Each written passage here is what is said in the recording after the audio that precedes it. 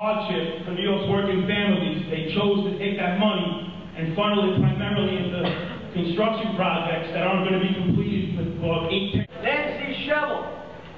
Mr. Goodman, you need written comments to supplement your oral testimony.